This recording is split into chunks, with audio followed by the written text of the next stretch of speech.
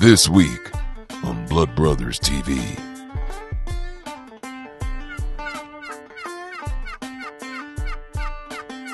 Actually, it was the archery in schools program that got me started.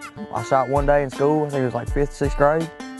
Came home, told grandma I wanted a bow, and I've been hunting ever since. I'm the first diehard hunter in my family. My dad picked it up a couple years after I did, kind of spend some time with us. But I mean, I've been hunting since I was 13 years old. You know, even even probably before that, I just can't remember. It's always given me something to do. It's, I mean, growing up in the country, you, it's, it's what you do. You know, you don't spend too much time around nature. You know, to not, you know, want to experience it. Like, I mean, you can go out with your friends, you know, you can do all that stuff, and you know, you can learn what your friends are like, and you know, you can learn this and that about other people. But you get out in the woods, you learn about yourself. You know, you, I mean, you, you pay a lot more attention to you know you and what kind of person you are. You learn a lot. You know, and even even if you don't see that big old buck, you know, I, I mean, you get a lot of time to think and reflect, and it just makes life a lot easier. It makes you look at life a little bit differently. If it wasn't for hunting and fishing and, and growing up in the outdoors, I, I don't think I'd be where I am in life today. I, I certainly think my life would have been totally different than what it is today.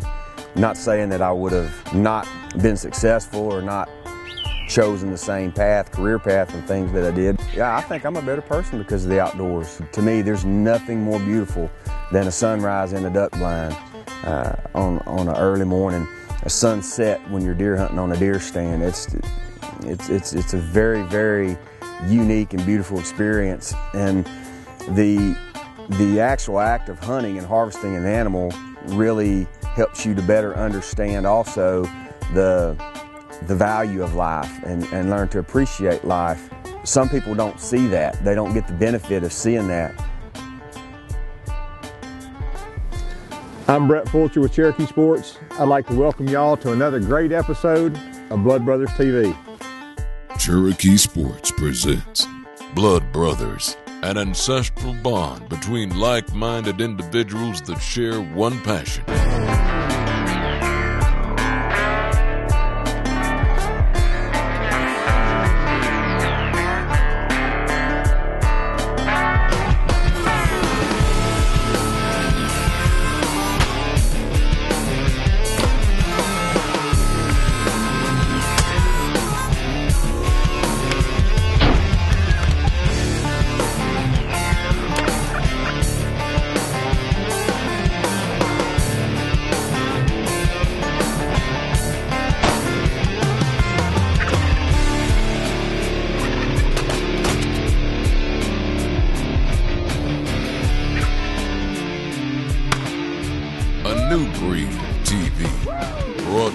By Cherokee Sports.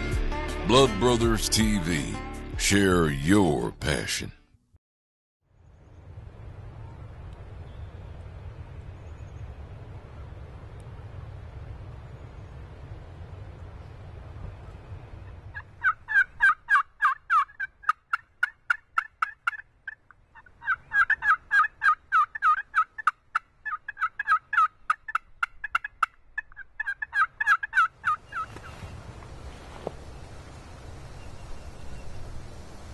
Was that a turkey gobble? Gobble right back there. Are you serious? He, he gobbled with them, at them, crow, at them hookers, didn't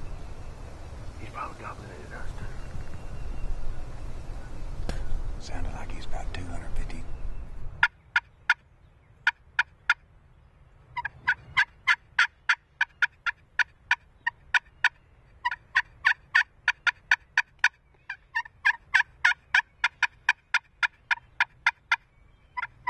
Yeah, I went to Bryant High School, graduated in 1984, and left there and went to Ouachita Baptist University. Finished there in December of 1988, and uh, currently I'm in pharmaceutical sales. Yeah, I knew when I went to college that I was probably going to wind up in sales. had an older brother that was an influence, good influence on me. That's the career path he took. He got in pharmaceutical sales, and I knew when I was going through school that that's eventually probably where I wanted to wind up.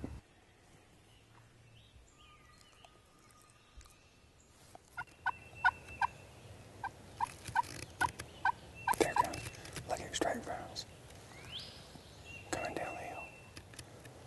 I don't see a rope on any of them.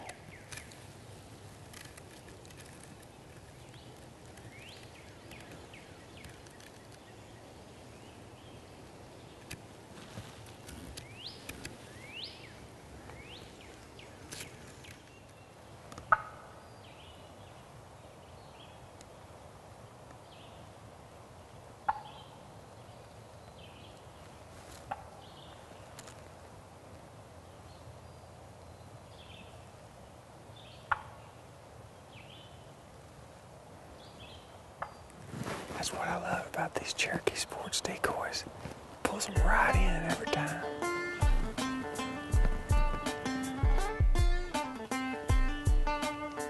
She's pretty.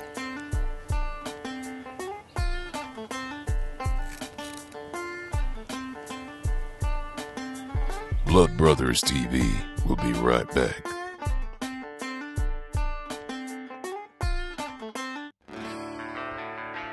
Welcome back to Blood Brothers TV. We're gonna make it mad. Gonna make them real mad.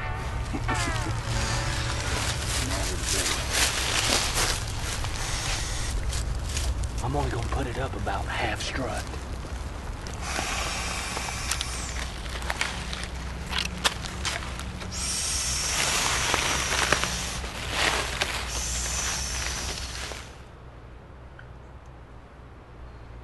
Got three boys now, so I try to spend quite a few weekends with them hunting. I'm a firm believer in having children outdoors and having them involved and just learning to appreciate nature and be good stewards of what the good Lord's provided you. And the more they do outdoors, the less trouble you know they're going to get into, that's for sure. But when you go out and you do the work and you put the sweat into it and you put the food plots down and you brush up your own blinds and you scout your own game and there's a bigger sense of accomplishment when you harvest something that way, I think. That the one? That's the one. I hope anyway. Just clear the brush, baby. You got a clear shot to that decoy. Yeah, I'll shoot the top of that, but I think I'll be all right there. I don't want to break it too low, because then they'll see. They'll see me out here. And let me tell you, that close, if he makes that decoy, you better have it right on his head. Pattern's gonna be that big round. Okay. I can handle that. Like shooting a deer at 20 yards. It's gonna be tight. Did you bring some air conditioning?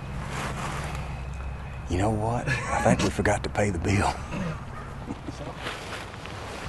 Much better I want you to shoot him when he's right there. Like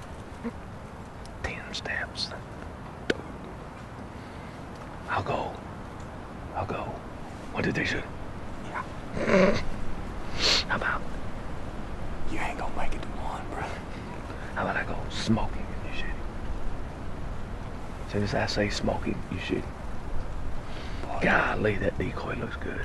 Look at that. If that don't look like a real turkey. Oh. Old Billy Badack doing the deal.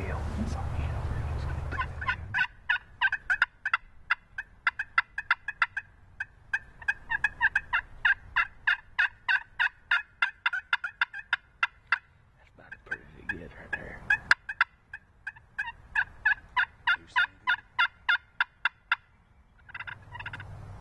I hear her.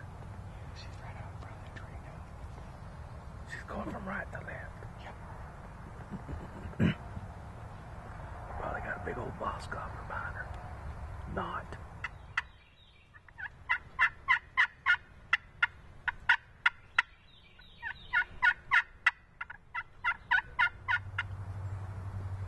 I told you I thought I heard turkeys go in there, didn't I? Yeah. Right there in that thicket. Keep watching past that big falling down tree back there. You see it? The sense of accomplishment uh, from when they put the work into it and then they reap the benefit out of it builds work ethic, it builds self esteem, helps them to understand that there's not going to be somebody always doing it for me, that I got to learn to do myself, feed myself, so to speak. I think a lot of the lessons you learn in the outdoors and doing things like that helps you in your career as well. I, I think there is a part of their character that that they can get in the outdoors if they're not going to get anywhere else and become a self-starter, help figure out your own problems and solve problems and and critical thinking. I, I realize there's people out there that just don't get it, that, that think hunting is is evil and that it's not a good thing and that you're just out there destroying nature, but actually we're not destroying nature. We're actually we're putting back into nature. We're helping conserve, and you know we we spend a lot of time and a, and a lot of money, quite frankly, you know, helping these animals grow and mature, and making sure they have protein in their diet and food plots to sustain them through rough winters and even after the hunting season's gone.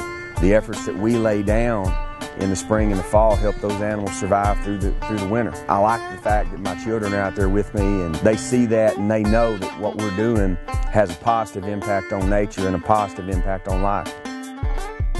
Blood Brothers TV will be right back.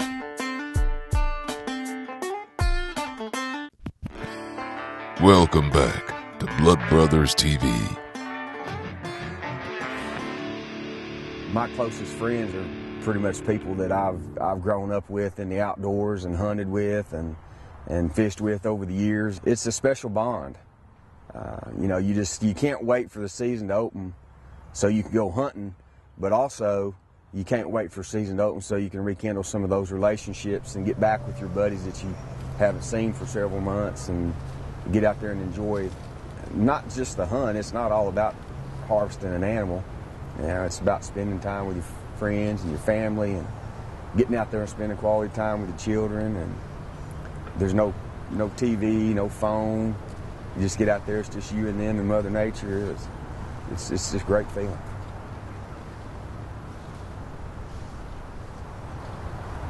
I can't move. Is he coming? He's coming. I can't move. He's, when he gets behind those trees right there, I think I can move my leg. Wait, just, there he goes, there he goes. Easy, easy, easy, easy. My wife and I both try to instill in our children that you know education is important, school is important, and, and they need that to grow and to succeed in life. I think a lot of the lessons that you learn in nature, a lot of common sense lessons that some people just don't pick up. Those are valuable lessons that, that children need to learn at an early age because it will help them as they grow and mature if they have that work ethic, if they have that base of knowledge that they're getting in the outdoors, it's going to make them more successful whether they go into law, medicine, accounting, whatever they're going to do in life. That work ethic and those values, I think that's a word that's underused in our society today is values. You know, I was I was fortunate enough to grow up hunting with people and and, and, and older men that took me in under their wing that, that had very strong values. You know, they, they protected the lands that they hunted on. You know, littering wasn't an option, and you know, destroying property wasn't wasn't an option. It was always about building things up, making things better. I can't see him. He's fixing to come out behind those trees. You got him. You got him. I think those are those are good lessons for children to learn. That you you can't take advantage of what you have. You have to manage it and nurture it and grow it.